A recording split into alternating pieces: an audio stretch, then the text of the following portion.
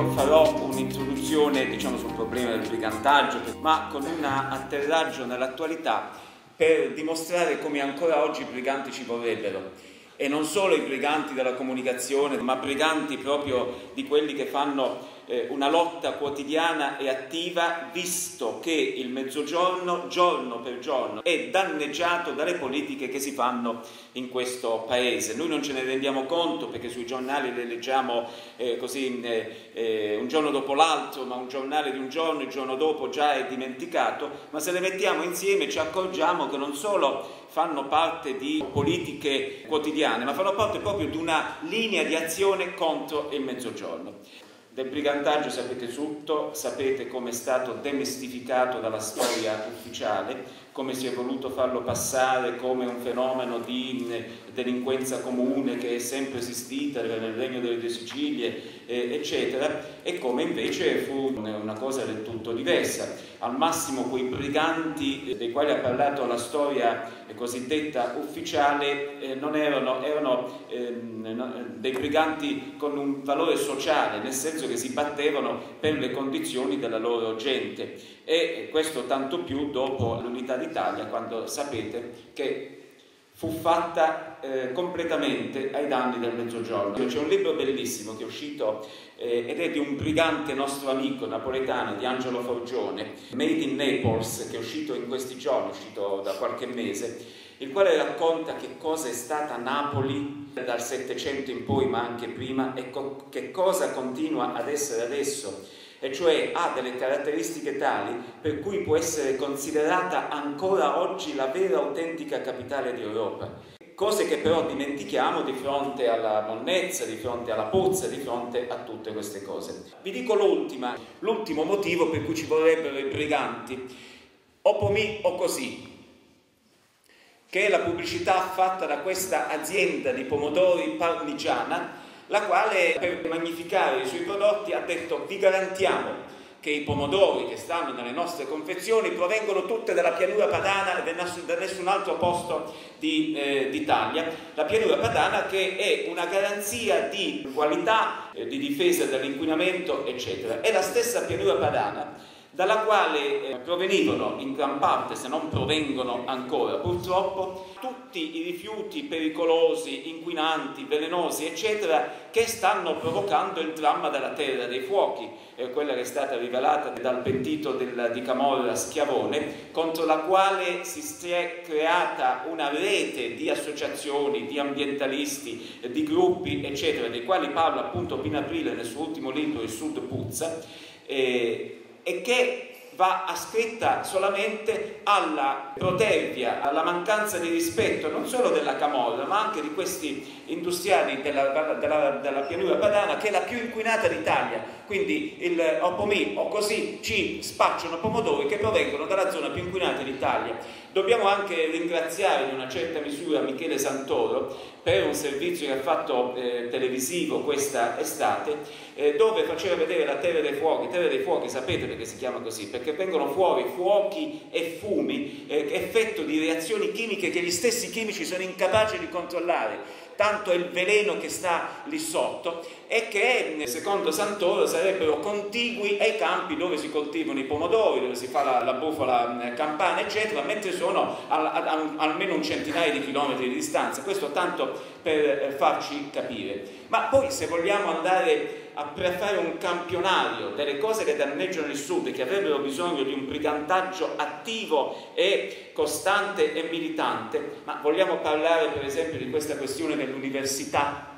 su cui finalmente si stanno muovendo non solamente le università pugliesi che sono quelle danneggiate, ma visto ci sono delle firme di qualche politico, spero che non siano solamente per mettersi il, il distintivo eh, al petto, perché i politici si dovrebbero muovere prima che si muovano eh, la, eh, coloro i quali sono danneggiati, perché vivono dove, nella fonte del, eh, dei provvedimenti che sono per, di danno per il mezzogiorno. Allora, le università pugliesi eh, quella di Bari e quella di Foggia in particolare, non possono più assumere e sostituire i professori che sono andati in quiescenza, sono andati in pensione. perché hanno fatto una classificazione, una classifica diciamo della virtuosità di queste università in base alle quali l'Università di Milano per esempio, quelle in genere del nord possono assumere anche um, tutti coloro, eh, per sostituire tutti coloro i quali se ne sono andati, quelle del sud invece non possono. Quali sono i meccanismi attraverso i quali hanno fatto questa classifica? Altro che briganti ci vorrebbero. Uno dei primi criteri è quello di quanto incassano le università con le tasse di iscrizione dei ragazzi.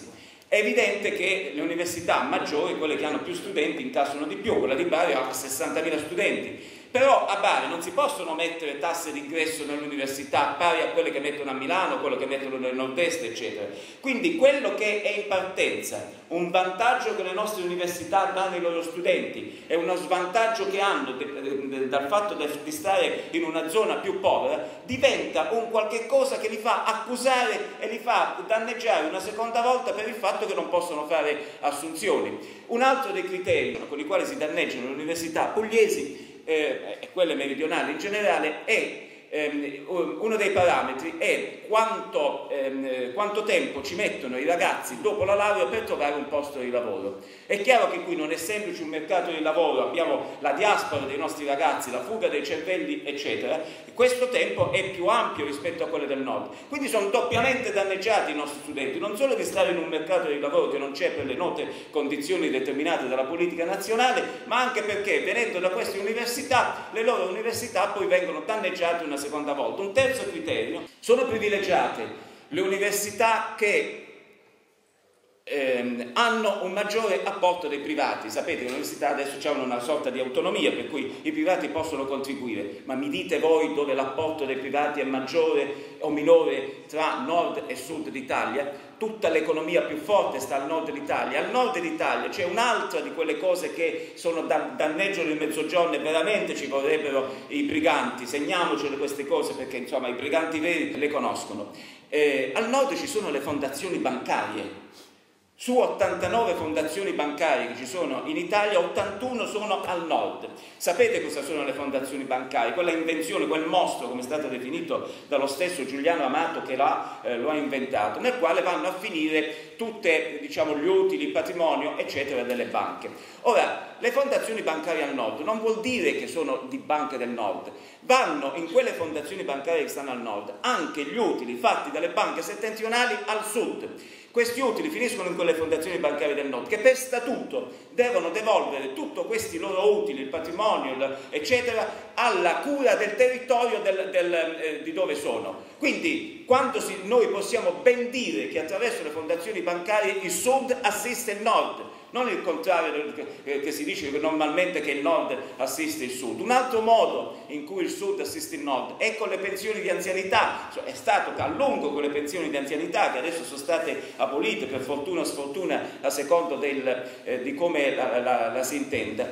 Un altro modo con cui il sud assiste il nord è con le casse integrazioni, che è chiaro che c'è sempre il sistema industriale là, che vengono pagate con le tasse di tutti quanti, anche con le tasse dei meridionali. Un altro modo con cui il sud assiste il nord è con gli interessi sui titoli del debito pubblico il debito pubblico, lo sapete, il 50% in mano agli stranieri, il 50% agli italiani, in gran parte in mano a chi ha più possibilità di fare investimenti in BOT, CCT, eccetera, cioè al nord ancora una volta. Però gli interessi sontuosi, soprattutto quando lo spread è stato alto, che si pagano su questo debito pubblico, vengono pagati con la, con la fiscalità generale, cioè anche con le tasse dei meridionali. L'ultima cosa, l'ultima, ma tanto per dire, che è stata scoperta dal nostro amico e sodale Marco Esposito, coordinatore del Movimento Unione Mediterranea e giornalista al mattino,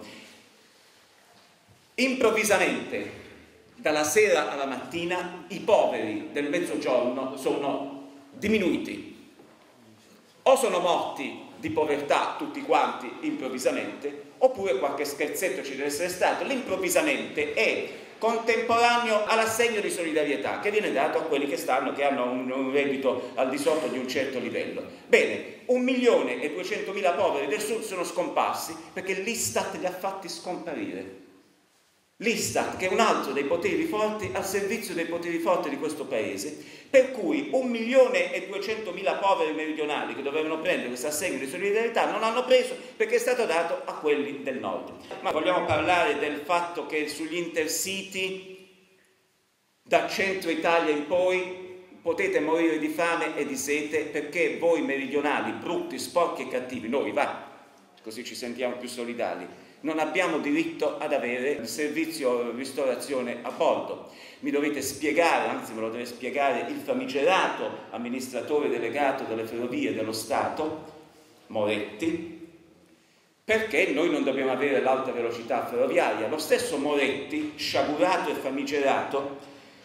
è quello che l'altro giorno, in una dichiarazione che ha fatto sul giornale, ha detto che se ci fosse l'alta velocità tra Bari e Napoli, da Bari a Napoli si potrebbe andare in un'ora e quaranta. Non ci illudiamo, non crediate, non crediamo nessuno, altro che briganti, ci dobbiamo veramente arrabbiare che ci stiano facendo l'alta velocità, ci stanno facendo l'alta capacità ferroviaria, che significa il doppio binario. Nel senso che siccome prima i treni, adesso i treni passano sullo stesso binario, uno deve aspettare all'altro, ci fanno il doppio binario. Ma di tutto questo Ambaradan finora hanno fatto 18 chilometri che corrispondono a quelli che stavano già durante il regno delle, delle due Sicilie e l'impresa che lo, sta, la, che lo sta facendo si è anche fermata perché non c'ha più soldi.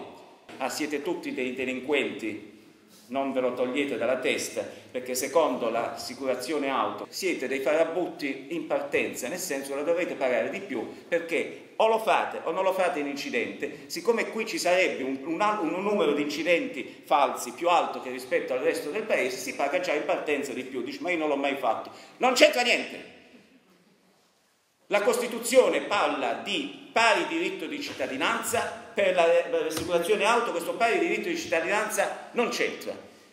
La Costituzione dice che dovunque tu nasca hai gli stessi diritti, le stesse, poten- le stesse, opportunità, le stesse facoltà, eccetera, che dovresti avere in qualsiasi altra zona nasci. I bimbi, i bambini del mezzogiorno, io dico sempre, piangono di più